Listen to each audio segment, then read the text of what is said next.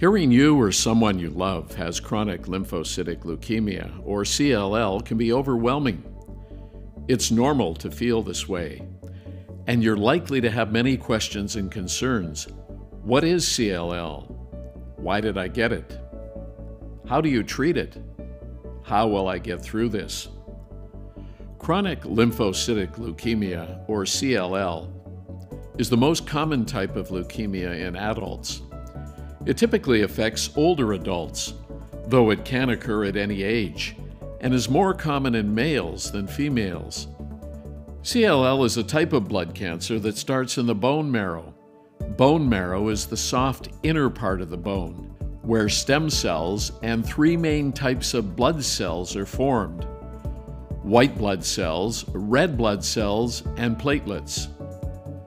With CLL, a type of white blood cell called B lymphocytes undergo changes in the DNA, or genetic code.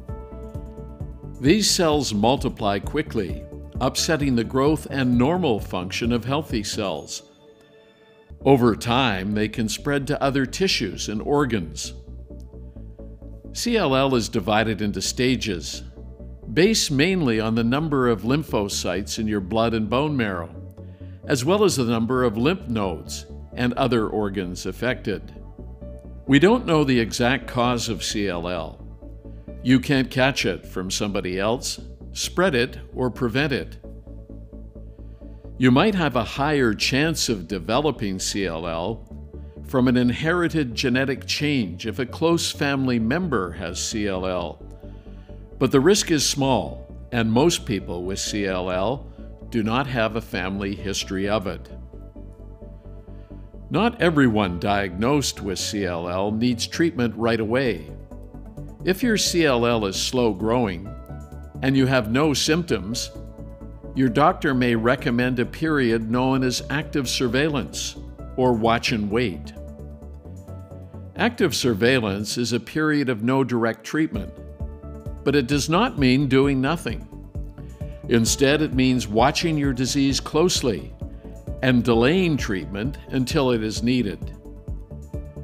During active surveillance, you'll have regular physical exams and blood tests to monitor your blood cell counts. This will help your doctor to detect any changes in your CLL.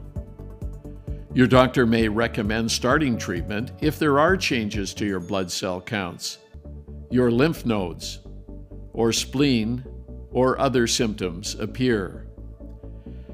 CLL symptoms can be similar to other less serious illnesses and may include tiredness or low energy, shortness of breath during regular activities, fever, sweating at night, bruising easily, unexplained weight loss, swollen lymph nodes and spleen.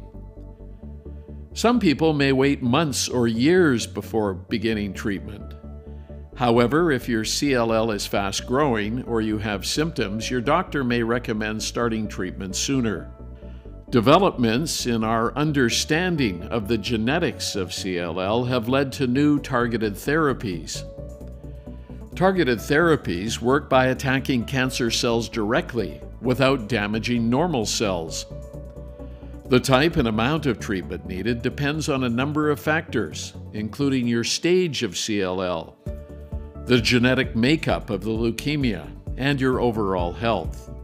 Research advances have revolutionized CLL treatment, and new clinical trials continue to offer hope. Speak to the Leukemia and Lymphoma Society of Canada if you'd like to learn more.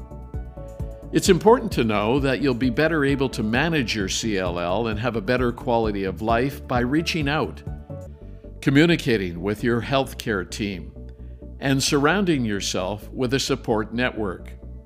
You're not alone. The Leukemia and Lymphoma Society of Canada is here to help you understand CLL and manage the road that lies ahead.